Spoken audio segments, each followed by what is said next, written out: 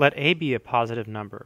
Prove that if x is a number such that the absolute value of x minus a is less than a over 2, then x is bigger than a over 2.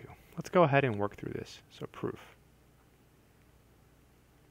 So we'll start by assuming that x is a number such that this condition is true. So suppose that we have the absolute value of x minus a less than a over 2 where x is a number. So to do this problem, we have to use some properties of absolute value. Let me go to the side here and explain. So if you have the absolute value of x, and that's less than a positive number, which we can say is b, then intuitively recall that the absolute value of x is the distance between x and 0.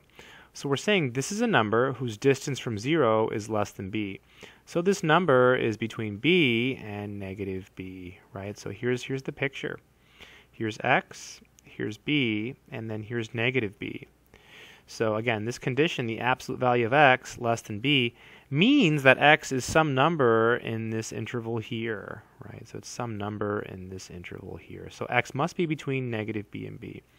So in the proof, we can drop the absolute value and then we end up with negative a over 2 less than x minus a less than a over 2. And then we can add a to all three sides. So plus a, plus a, plus a. When we're adding a, we can think of a as 2a over 2, right? You can think of it like this. So that when you add it here, you just get a over 2, right? Because it's 2a over 2 minus a over 2 gives you a positive a over 2. Less than x, these cancel. And this is 2a over 2 plus 1a over 2 is 3a over 2.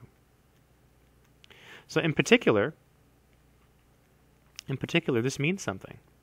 It means we're done, right? If you look at this, we have x greater than a over 2, right? Just reading it backwards. So that's it. I hope this video uh, has been helpful.